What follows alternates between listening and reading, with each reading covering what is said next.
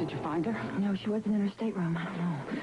Oh, well, maybe she and Luke went somewhere after she got back from New York. Oh, yeah, it's either that or we're too early. I don't know. Who knows? Maybe she took a, a late plane or something. Yeah, but even so, it's so late. I mean, she should be here by now. That's true.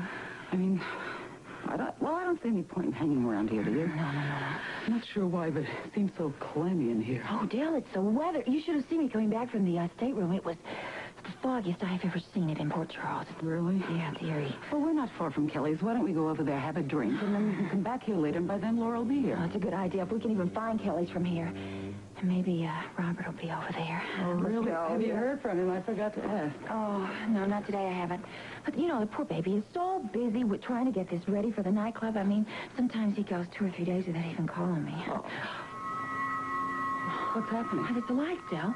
Well, I can see that, Tiffany, but uh, what I'm asking is why. I have no idea. See?